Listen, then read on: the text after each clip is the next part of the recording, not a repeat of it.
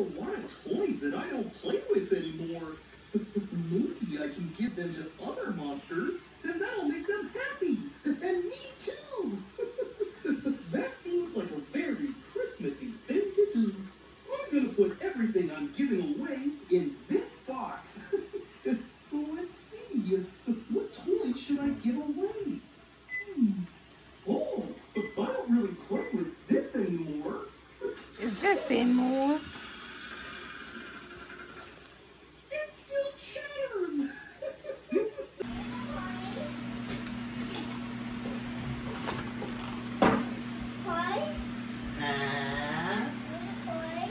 hello, hello, mixed fruit and beans.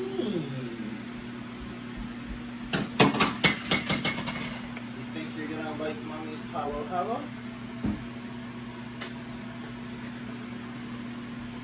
Hello.